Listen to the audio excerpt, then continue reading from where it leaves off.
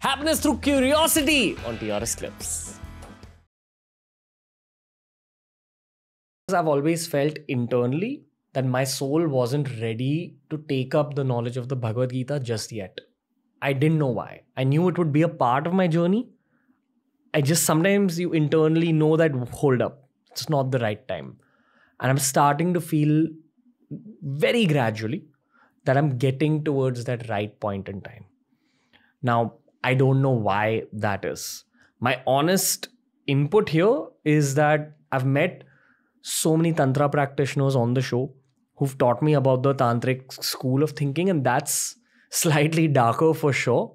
But for some reason, maybe due to the circumstances of my own life, that's the path I'm drawn towards. And that's honestly what I love about Sanatan Dharma that there can be this path and that path and five more paths, and they'll all suit you based on your own subjective reality. But by learning about the other path, you'll be able to gain for your own path as well. That's a part of the reason I'm bringing up all these questions to you.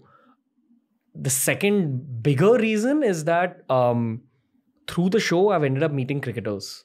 And it begins by the inner child in me being excited that I'm talking to someone that I'm a fan of. And then eventually I realized these guys are also human. And what I also realize is that the top international cricketers are actually really pure souls. That's possibly why God has gifted them that level of success, that level of material luxury. Because these guys are very pure. And to play sport at that level, I do believe that you need to be a certain level of pure. At least that's what I feel when I speak to these guys.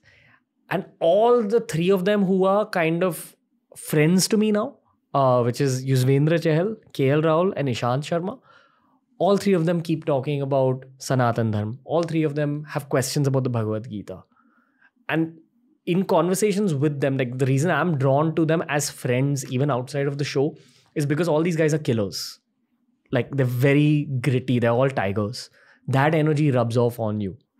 And I love being around them. And that's probably a part of the reason maybe they like being around me. That they sense that same aggression for the sake of career. But one layer deep below the aggression is an aggression towards the process of learning. And they've brought up the Gita so much which is why this thought has been in my head that much. And this is why I made this podcast centered around the Gita and its knowledge. And it's going to go to all three of them. Uh, and I'm sure their questions are also answered through the course of this whole conversation. My question to you is that with guys like this, okay, who have gained so much luxury in the material world, or anyone who gains a lot of material success, uh, why has God only chosen these souls? Let's just take the the example of cricket. Okay, for example, India is a constant conveyor belt of cricketers, but there's very few souls who get selected to play for the national team, and there might be very hardworking, very talented souls who just don't get that opportunity. What is God trying to teach the guys who actually get to the top? Is God trying to teach them that you know what? Actually, all this means nothing. Is that the lesson? are these souls supposed to set an example for the other souls? Parallelly, what is the domestic cricketer who's never got an opportunity to play for India, but he's as talented, as hardworking? What's the lesson for him? And uh, of course, I'm using cricket as an analogy for life in general because this is also how life works in many ways, especially when it comes to material success. Where is the role of extreme material success in a spiritual journey? everyone needs a different experience to bring them to spiritual consciousness. For some people, divinity will arrange a ridiculous amount of fame, success, uh, accolade, achievement. And as you said, they will come to that point where then they realize, I've got it all, I've done it all, I've been there, done that, got the t shirt, and still something's missing.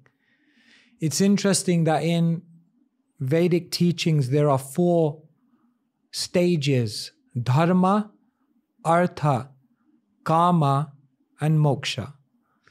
That is said that when one performs dharma, some kind of religious piety, then what happens is they get artha, which means um, facility, material uh, facilities, wealth, position, and so on.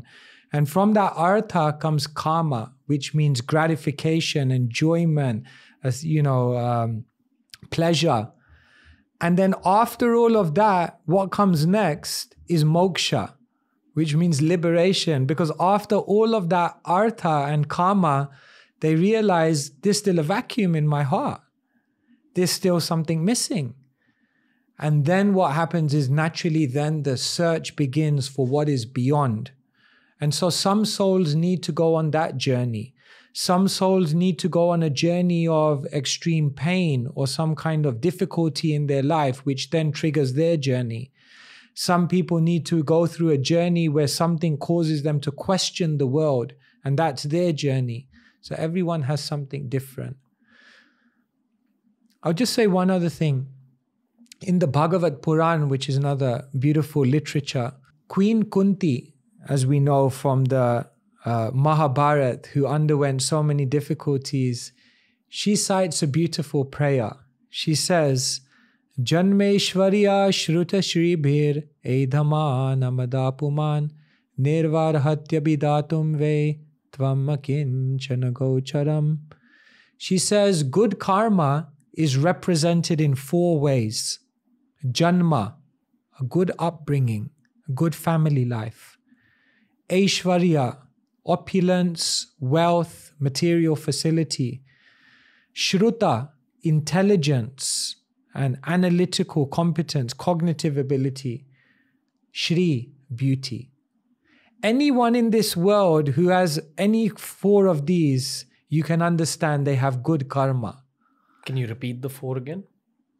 Janma, good upbringing, good family, good parents, like that. Aishwarya, wealth, opulence, material facility.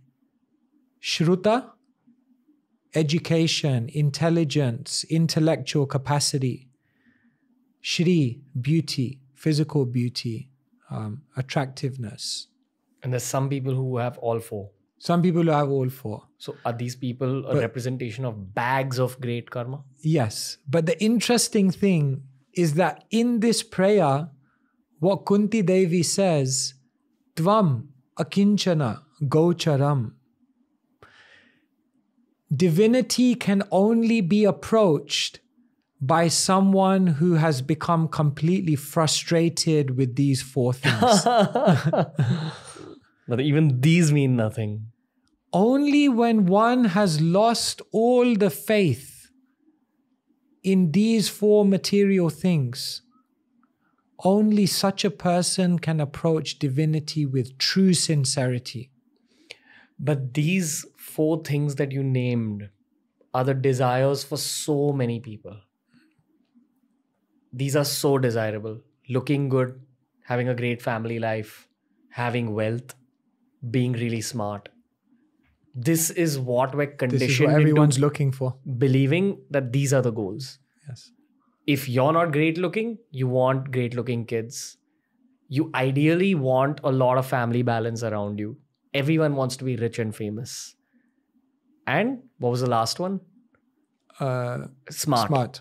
Yeah. Everyone wants to be smarter. Yeah. Many letters behind their name. And this is what you're taught since like you're a little child that this is what you need to strive towards. And eventually in life you realize, ah, okay, this is not where the answers lie. Because looks fade, your family will eventually die. Exactly. Um, Time takes away everything. yeah, time even takes away your mind. Your mind will deteriorate.